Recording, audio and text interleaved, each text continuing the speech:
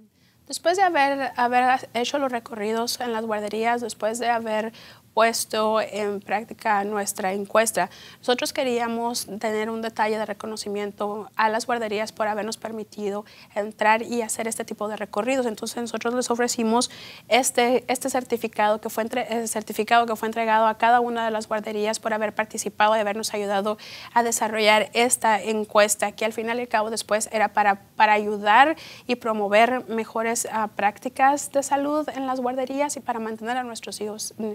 a todos los niños seguros, pero especialmente a nuestros niños con asma. Nosotros les entregamos estos certificados, pero también regresamos para ver cuáles eran las ideas que ellos habían pensado después de que nosotros les habíamos hecho tantas preguntas, después de que habíamos hecho recomendaciones y después de que habíamos visto las,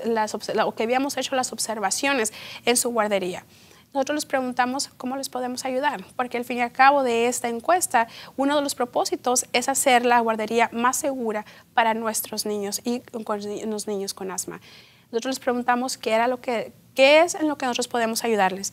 Algunas de sus respuestas fueron que ellos querían más educación, ellos querían más ellos querían educarse, no es de que no quieran educarse, ellos quieren más educación, ellos están buscando más recursos, saber cómo limpiar de una manera más eficaz, pero que sea menos tóxica para los niños, de tal manera que los niños estén seguros.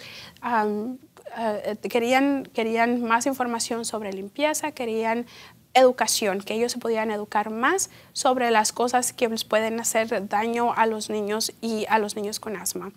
La otra cosa que ellos nos mencionaron es de que ellos querían ayuda de nosotros para ayudar a educar a los padres con niños con asma. Hay veces que los papás con niños con asma no tienen la suficiente información, no tienen los suficientes recursos o de la manera de poder ser educados sobre la importancia de los cuidados con sus niños. La otra cosa que nos, ellos nos pidieron ayuda o que nos pidieron también que nosotros podíamos ayudarles era de que ellos querían que esta información se les enseñara en su casa porque ellos no tienen el tiempo para poder ir a otros lados a tomar esta clase de información o este tipo de clases o de entrenamiento. Entonces ellos querían que estas, esta información se les enseñara en casa. También ellos solicitaron que se pudiera usar material impreso que fuera fácil de leer y comprender para ellos. Y también ellos estaban solicitando que este este, entrenamiento o esta educación, esta clase de educación,